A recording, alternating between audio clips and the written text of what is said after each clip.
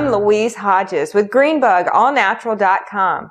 Today we're going to discuss a repellent for biting flies. In order to make our recipe today, the first thing I did was I went out into my yard and I got some ingredients, all of which are natural and organic. We've got some thyme, some lavender, as well as some rosemary. And I'd actually cut some of this earlier and dried it because I'm going to be making a tea out of these ingredients. And this is what they look like dried.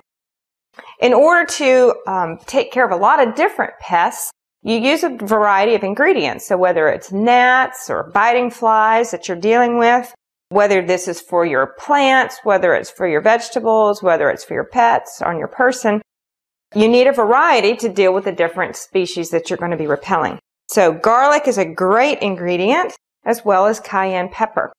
Um, I've got a mortar and pestle here so that I can mix all these up.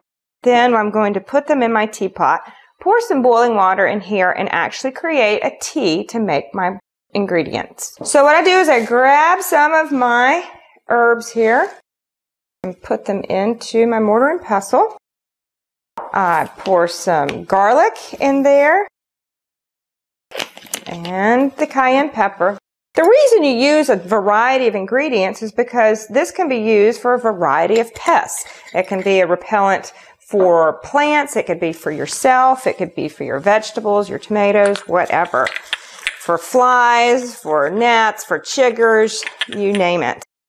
So I've ground these up and I'm going to pour it into my teapot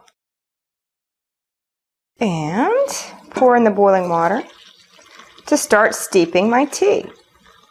This is completely organic and natural and is not harmful to people or pets or plants whatsoever.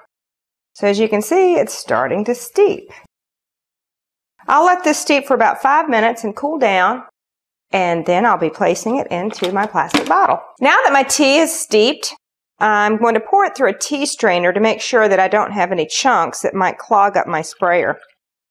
Because this recipe is good for all types of, of pests that you might have. Moths, chiggers, biting flies. This can be used on plants, on your person, on your pets, on your plants, and it's not harmful to anything. But it sure will keep the pests away. So now that I've done that, I just pour it into my spray bottle. And before you use it, you want to make sure that it cools down completely.